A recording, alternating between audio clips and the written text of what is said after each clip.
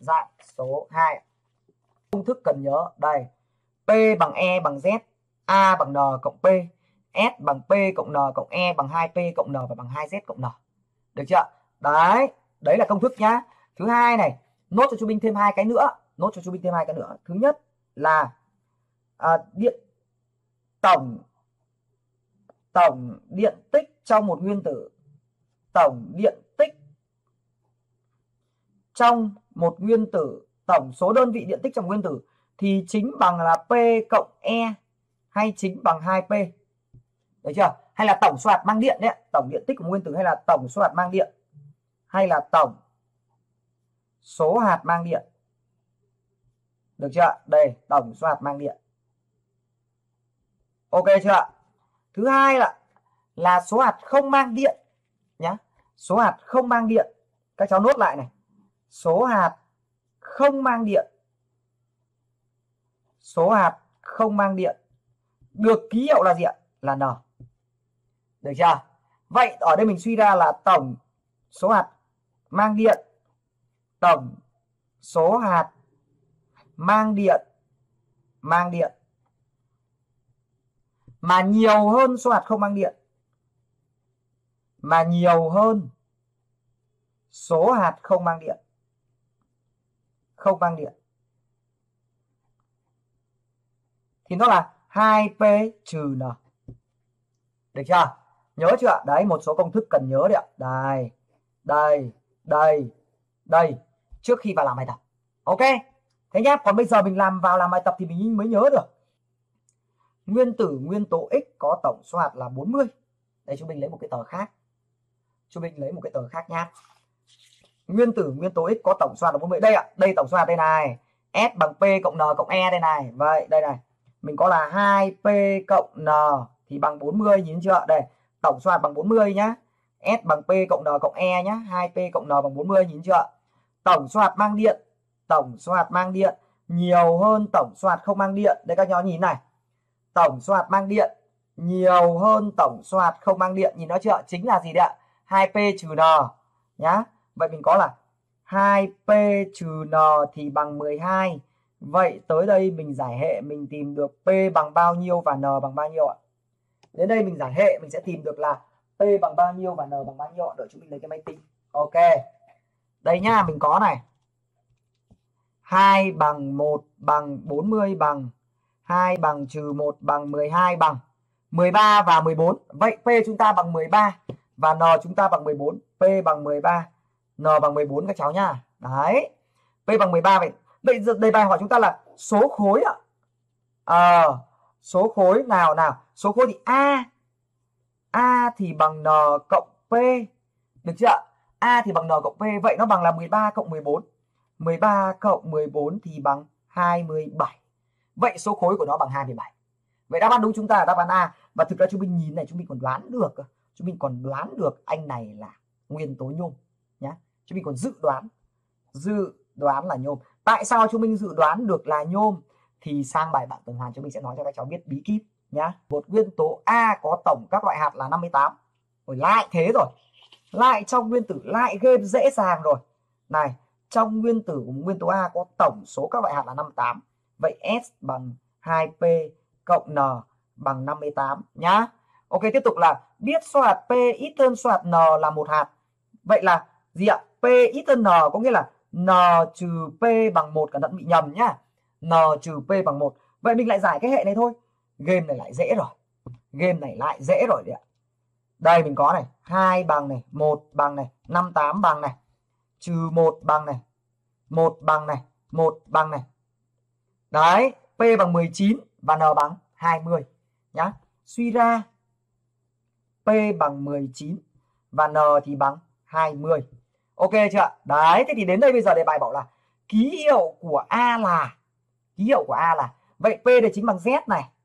Ở đây chúng ta suy ra được a này. Được chưa? A bằng 19 cộng 20 p cộng n bằng bao nhiêu ạ? 19 cộng 20 là bằng 39 được chưa? Vậy ký hiệu của a này là z của nó phải bằng 19 đây, z 19 z 19 z 20 vứt, z 20 vứt. Được chưa và a phải bằng 39 38 vứt. Vậy ở đây ạ 39 19 đáp án đúng đáp án B bỏ. Tổng số hạt cơ bản của một nguyên tử là 15 hạt.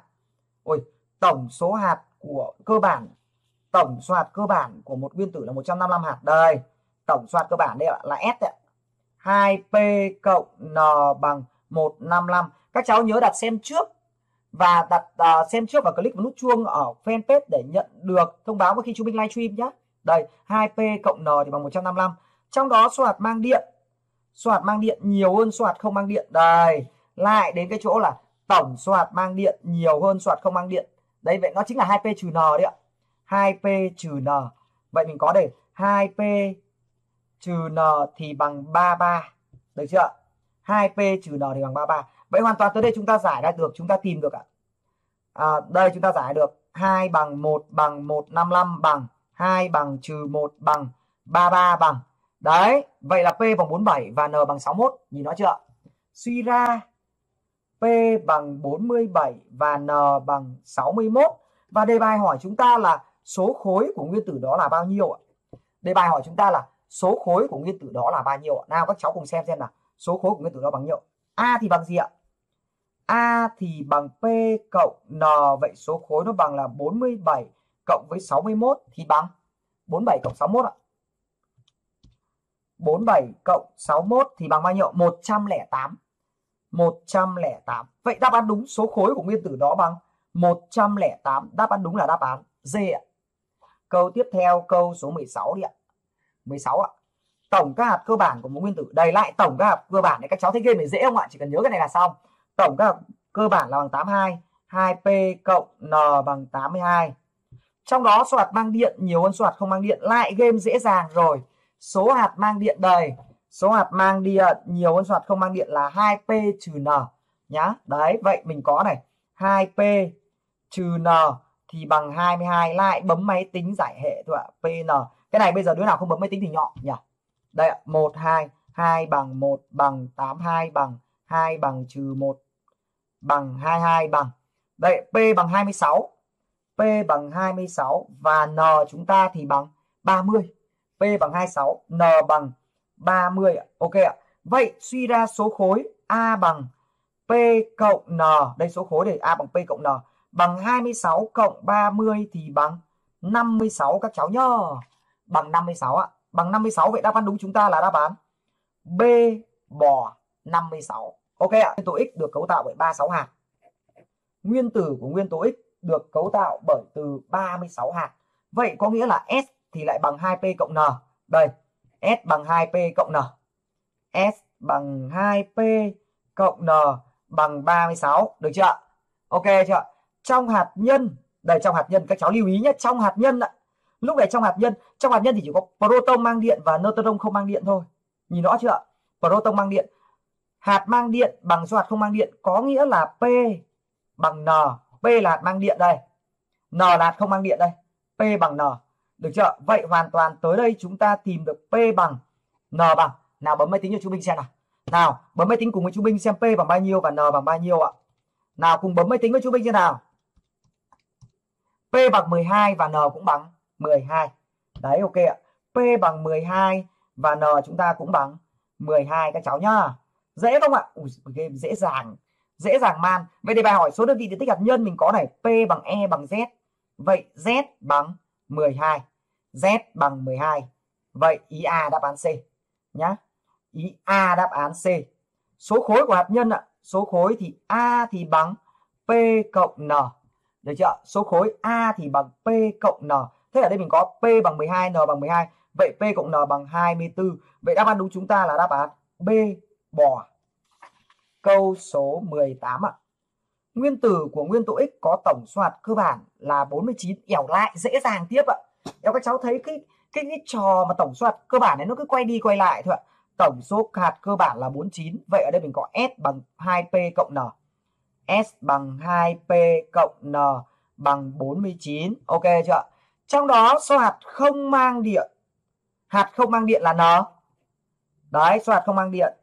Thì bằng số hạt mang điện. Đây các cháu lưu ý đây ạ số hạt không mang điện là n tổng số hạt mang điện là 2p ok chưa đấy vậy là n chia cho 2p 2p thì bằng 53,125 chia 100.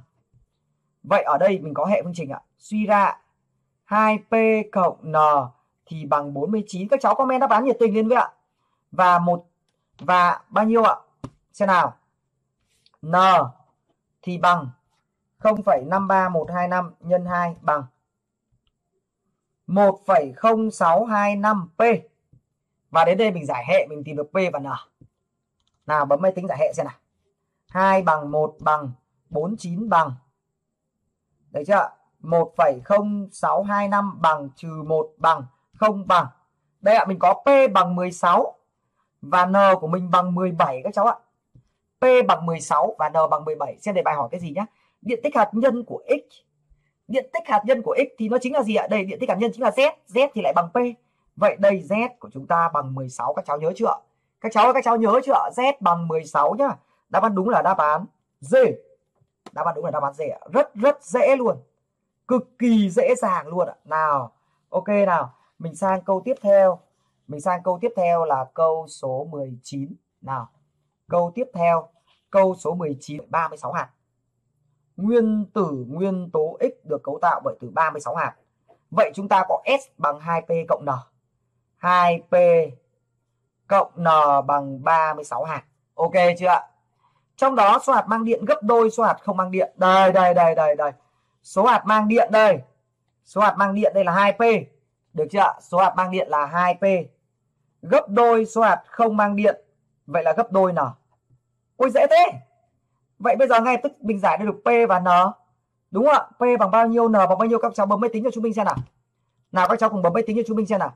Đây này, 2 này, 1 này, 36 này, bằng này, 2 bằng này, trừ 2 bằng này, 0 bằng này, 12 và 12. Đấy mình lại có P bằng 12 và N cũng bằng 12 luôn. P bằng 12 và N bằng 12. Vậy, vậy, vậy, câu 19, điện tích hạt nhân ạ, điện tích hạt nhân là Z ạ. Được chưa? ạ? Z bằng P. Vậy, đấy điện tích hạt nhân bằng 12. Đáp án đúng chúng ta là đáp án B. Bỏ cái cháu nhá. Đáp án đúng một nguyên tố có 122 hạt PNE. Kéo to đấy nhỉ. Căng đấy ạ. Vậy mình vẫn có là gì ạ? 2P cộng N. Quen rồi. 2P cộng N bằng 122. Số hạt mang điện trong nhân các cháu chú ý nhé. Trong nhân. Trong nhân thì số hạt mang điện của mình là proton. Được chưa? Ít hơn số hạt không mang điện là 11 hạt. Có nghĩa là neutron là hạt không mang điện. Trừ đi proton là hạt mang điện bằng 11. Vậy hoàn toàn tới đây mình tìm được P và N. Các cháu phải đọc kỹ đấy. Số hạt mang điện trong nhân thì là P.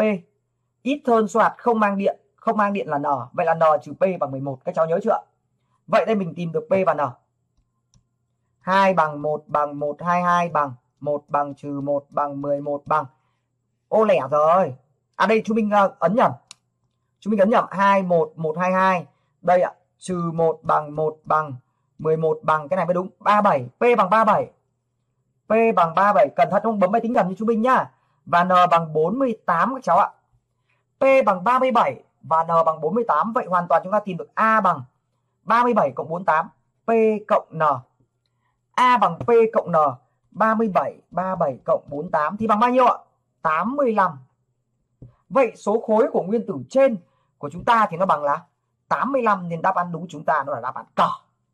21 ạ, nguyên tử X có tổng số hạt là PNE. Vậy mình lại có 2P cộng N bằng 52. Lúc này bây giờ đề bài hỏi số khối. Số khối là A, A bằng N cộng P. Các cho nhìn rõ chưa? Vậy mình có này A bằng P cộng N bằng 35. Vậy hoàn toàn tới đây mình tìm được P và mình tìm được N. Được không ạ? Mình tìm được P và mình tìm được N. Nhá. 2, 1, 5 2 1, 1, 3 5 Đấy ạ. P bằng 17 và N bằng 18. P bằng 17 và N bằng 18. Với P bằng 17, vậy nó chính là bằng Z.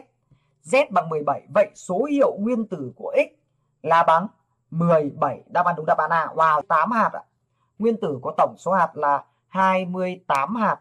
Vậy ở đây mình sẽ có là S bằng 2P cộng N thì bằng 28. Wow, hết rồi. Trời ơi, cho mỗi cái này thôi. Trời ơi, cho mỗi cái này làm sao mà giải được? Làm sao mà giải được cái cháu? Ờ, giải được ạ. Giải được. Ở đây ạ, chú Minh đã cho ta một công thức đây. một nhỏ bằng n trên p nhỏ bằng 1,25 được chưa và từ cái công thức này thì suy ra được một cái công thức bá đạo sau nhá suy ra một cái công thức bá đạo sau. Và các cháu chỉ được dùng chỉ được dùng với bài toán mà chỉ biết tổng số hạt. Nhớ nhé. Chỉ biết tổng số hạt thì mình được dùng như sau ạ.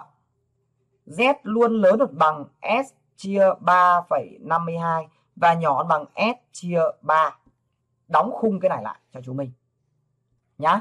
Và ở cái câu 22 này ứng dụng cái công thức thần thánh của chúng mình nhá ở câu số 32 là ứng dụng cái công thức thần thánh của chúng mình thì chúng mình có z lớn hơn hoặc bằng này. 28 chia 3,52 28 chia 3,52 bằng 7,9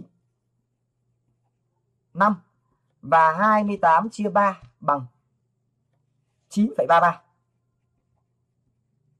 Vậy ở đây mình sẽ có vậy mình đây sẽ có z của mình có thể bằng 8 hoặc bằng 9 bởi vì 8 hoặc 9 đều lớn bằng 7,95 và nhỏ 9,33 nhưng các cháu chú ý ạ ở đây ạ ở đây ạ mình giả sử nhá. Đây mình nhìn này tất cả đây 9 9 9 một thằng có 8 ok chưa vậy mình giải trường hợp với z bằng 9 trước nhá.